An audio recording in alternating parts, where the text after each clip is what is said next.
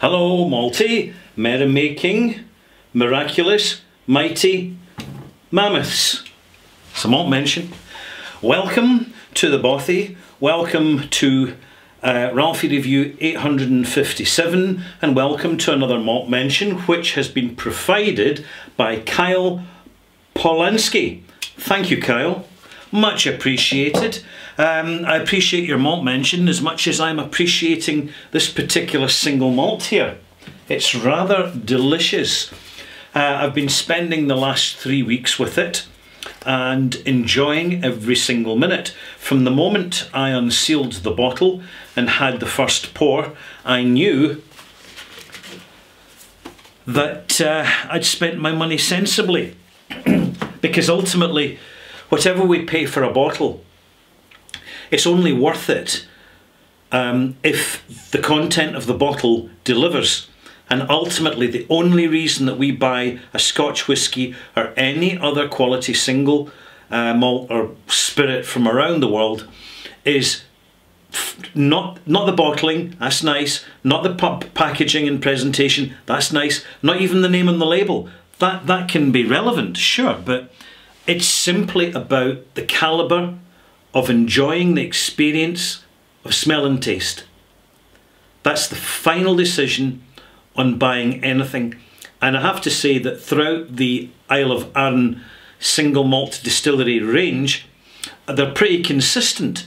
And in fact, there are many malt mates who thoroughly enjoy the experience of starting with a young single malt, uh, say a non-age statement, not that I buy many of them, and then buying the higher age statement. And the higher age statement, so you get the 10 year old, the 12, the 14, the 16, the 18, well, as far as you can, uh, uh, as you're willing to pay in terms of age statements, and uh, just enjoying the journey of seeing how a single malt transforms and graduates in the cask over the years. I've reviewed quite a number of Isle of Arran malts over the last few years and you'll find them if you just go to the search box on my list, my playlists um, it's very easy, just type in Arran or Isle of Arran or any single malt and you'll get a wee list of all the reviews that I've done of them. And in this particular occasion, I have enough experience to pour the glass about half an hour before I'm due to start the review so that I can give you a broader spectrum review of this particular version, which is the 21 year old Isle of Arran bottled at 46% volume. Now, this is opening up nicely, so I'm going to have a wee smell, a wee taste, add some water. I'll tell you exactly how much water I'm adding and why. Uh, and then I'll come back to the box here and read a little bit off it, which is really quite relevant and, and very contemporary for forward looking and pragmatic distillers, whatever spirit they're doing. And it's on the subject of disclosure. So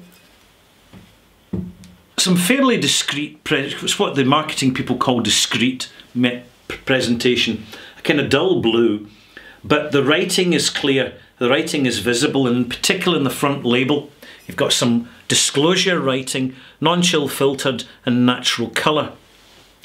There it is there.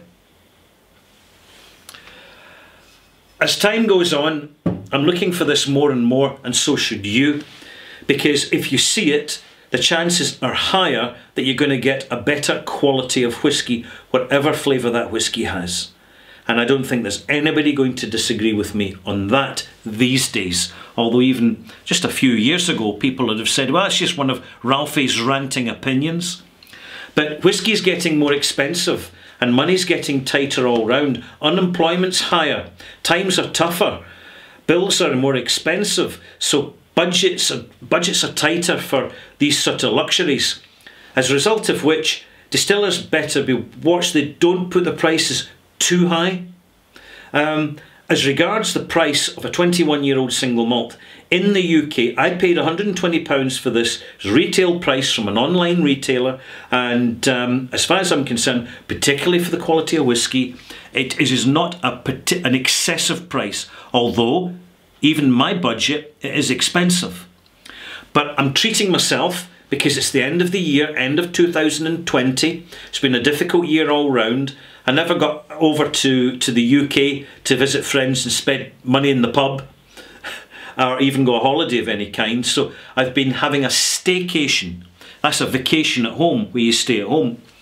So, like many people who have not been able to go to bars because they've been closed, people are staying at home buying online or buying from retailers or getting home deliveries from supermarkets or whatever, drinking at home and discovering more, they're in a better environment for discovering flavour. Now, you and I are a wee bit further down that road, we're ahead of the game, but it's been fascinating to watch the, um, the morphing of garden bars, people setting up garden sheds in the garden or even in their balcony if they live in a flat, and converting it into a mini bar, and thereafter creating a mini bar. they've got to stock it.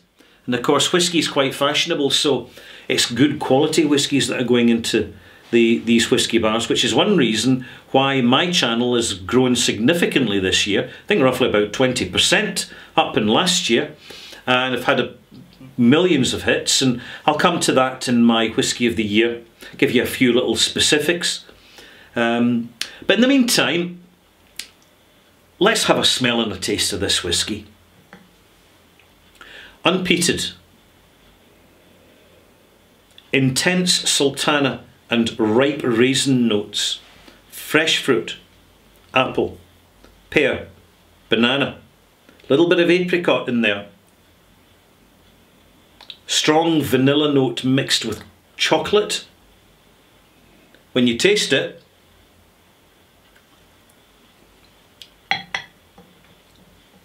some sour wood, sweet fresh fruit, gingery, slight pickly note, and when you find a, find a pickle note, kind of sour concentrated note in your whiskey, basically it's behaving like a cordial. That when a lot of flavour is packed into the alcohol, it tends to behave like, like concentrated orange juice or concentrated sodas. You need to add a bit of water to dilute it. And that's definitely the case here. This is about 25 milliliter measure.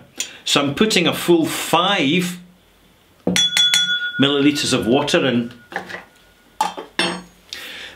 the whiskey's already been sitting in the glass for about half an hour, so it's started to unravel itself, unwind its concentrated character.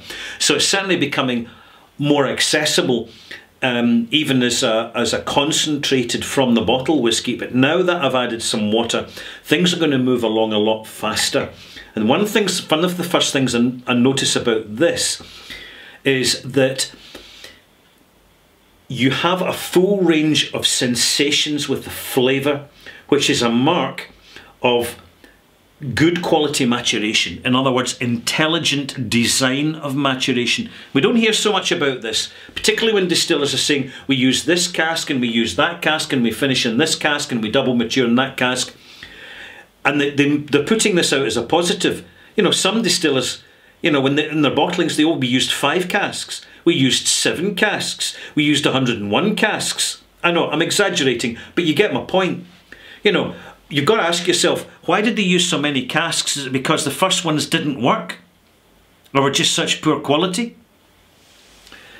You will notice over time when you have older whiskies which have had undisturbed maturation that the signature coming from the still and in the case of Arran, it's what's called a squat pot, or a relatively small uh, copper, traditional copper pot still, as used by the likes of Macallan and some other distilleries now, like Glengyle for their Kilkerran, another good example. Little this little pot stills in Scotland create juicy whiskey, particularly if they've got fat necks. But um, in the case of Arran, you really notice that it's very flavoursome and that the signature of the flavour from the stills at 21 years is still very visible and accessible. It's definitive. You can tell what it actually is when you're comparing it to younger Arran's. It still tastes like Arden rather than tasting like a single malt which has been overwhelmed by secondary cask maturation, a big sherry overcoat or a big fresh bourbon overcoat, and therefore that's what you're relying on the cask, not the spirit. And that happens um, these days as the industry kind of tries to keep up with demand, particularly with their older stock. So coming back to this little beauty, a little bit of Scotch mist appearing in the glass due to it being unchill filtered. It's slow to arrive, but give it time.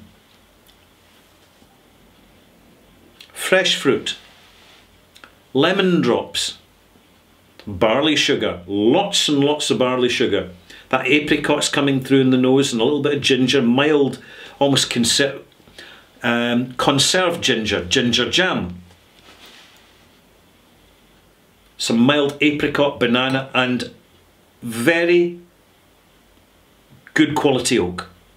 The oak wood involvement is restrained, but its presence is very much visible, it's very much there, and it's confirming through smell and taste the age statement in the bottle. The age statement is like a grid reference in your map.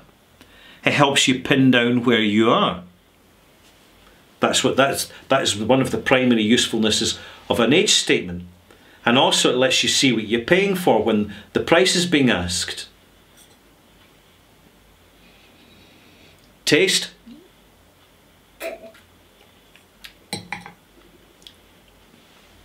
Much more voluminous, measured paste, sweet and sour, soft toffee notes, chocolatey, fresh fruit, banana, apricot, apple, noticing apple in there. Little gingery, soft confectionery pineapple note as well. Very articulate, a complex single malt. Now, while it's continuing to open up, I'm going to read you some stuff off the box because you can clearly see that Arran have given some thought into the presentation and information in the box and they have sensibly avoided hyper, hyperbole or hyperbole, depending how you pronounce it. They've avoided patronising platitudes. And they're making a statement here, so it's not just me mouthing off. You, you understand this. This is coming from industry professionals. Because when you smell and taste this malt, you can tell immediately that People who have made this know what they're doing, have considerable experience, and it most certainly shows.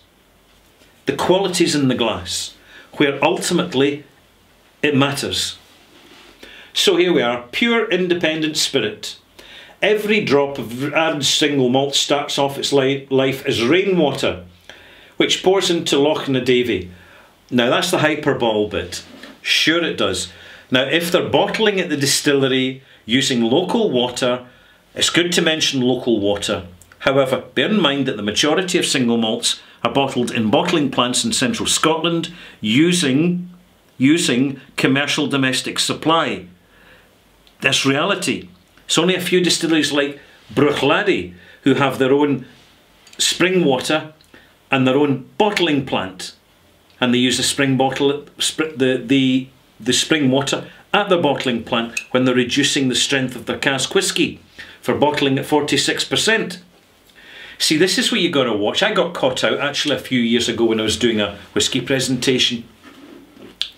When I was blowing off about why distilleries talk about the purity of their water and why it can be basically misdirectional. And I was asked, well, hey, Ralfy, you, you know, you, you, you, you believe in provenance and they should use local water. So, you know, you're contradicting yourself. And to a certain extent, I was. But what I should have said was, by the way, remember all water collected and used by is for cooling purposes. The water is used for the mash tun, the washback.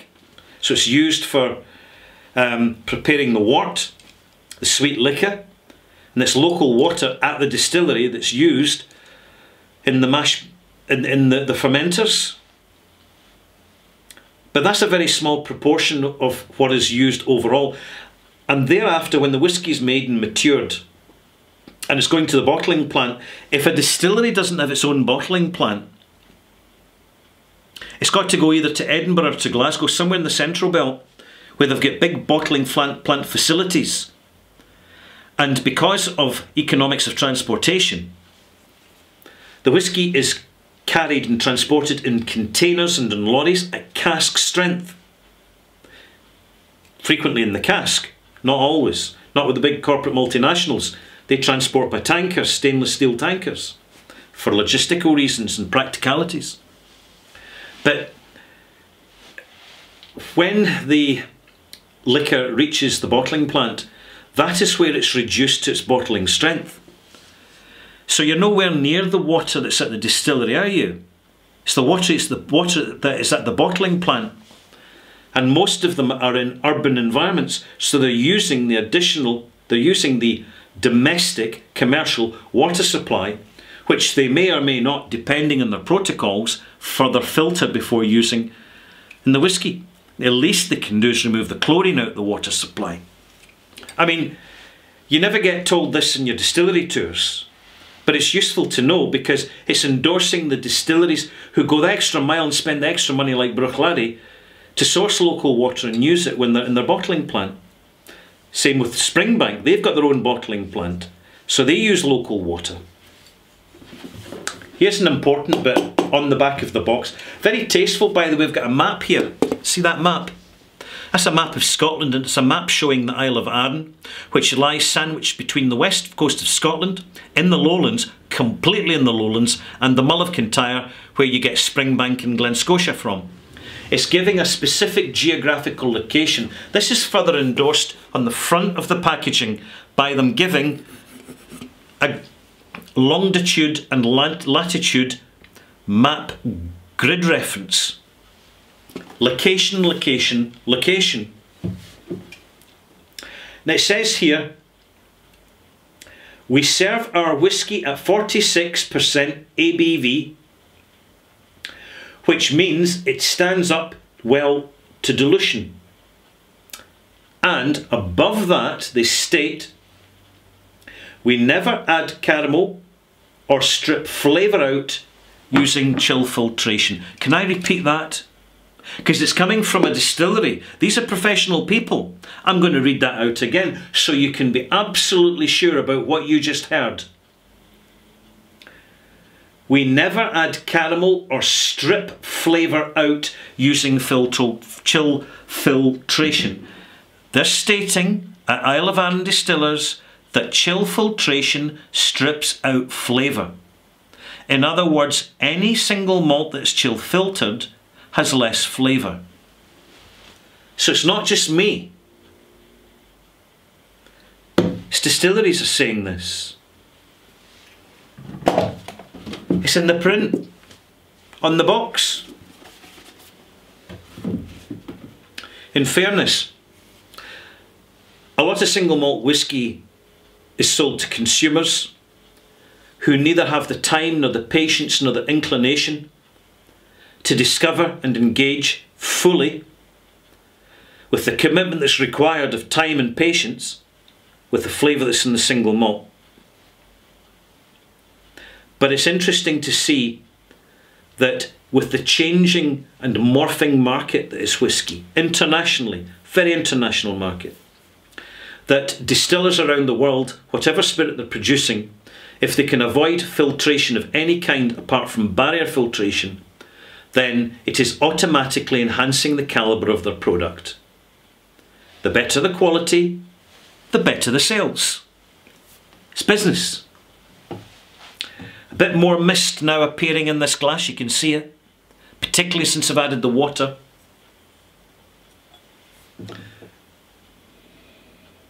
Slightly perfume, rose water, honeysuckle, summer gardens, fragrant, aromatic, complex, tremendous range, range of notes to smell there. This is this is far far from being a dumbed down malt. This is the opposite, helped by the fact that it's unchill filtered and its natural colour.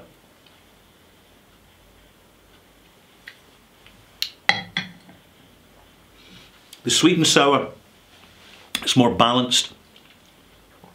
The sensations of sweet and sour have now given way to the flavours on the arrival. Fresh apple, raisin, soft toffee, vanilla, sultana, apricot, pear, pineapple. I'm not going to go on anymore. it's a busy, busy malt. And it's all measured and amplified. All these fresh flavours are still there. Even in the presence of 21 years of oak wood maturation. Because the maturation has been measured. It has been planned. They're not just getting the casks that come through the door, filling them up and keeping their fingers crossed and saying if there's a problem we'll fix it later.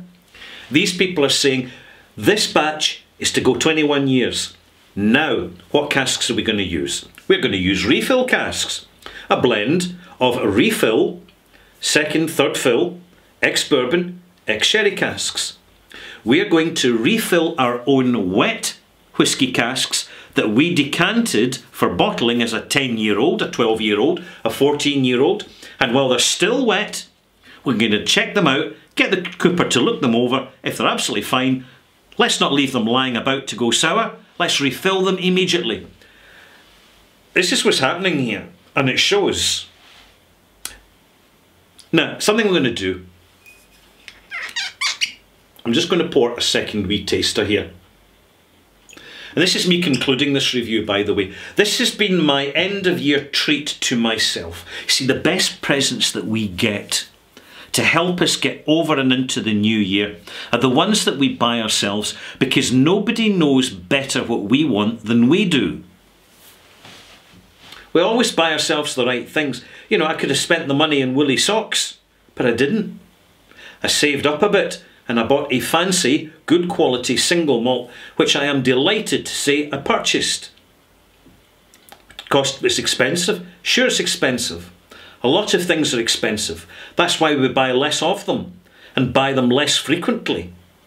Because we've got to manage our budgets, each and every one of us, particularly the way things are heading into 2021. It's going to be a tough year for a lot of people. I'll come to that in my Whisky of the Year review, which is coming up next. So I've poured another glass. This is the fresh pour. It's not had the time and it's not had the water, What's the difference between them? Well, immediately you can see this one's clear. The other one's not. The fresh pour. Intense. Concentrated. Very cordial-like.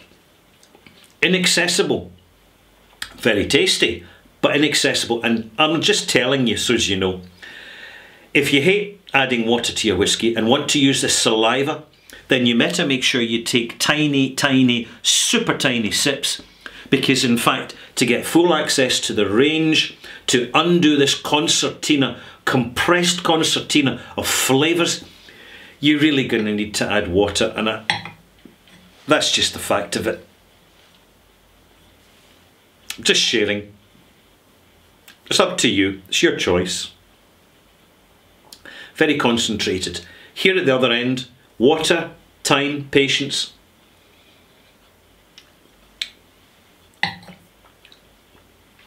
Much more measured arrival, much more complex. The development's longer, the finish is longer, the finish is infinitely more articulate than it was. And it is a beautifully balanced, excellent, fantastic quality single malt, which I will now malt mark. What am I going to give it? Let me see now. Oh, this will do nicely. 91 out of 100, and it's a malt mark. It's an integrity malt mark, by the way. An integrity malt. I'm glad I bought it. I was happy to pay the money.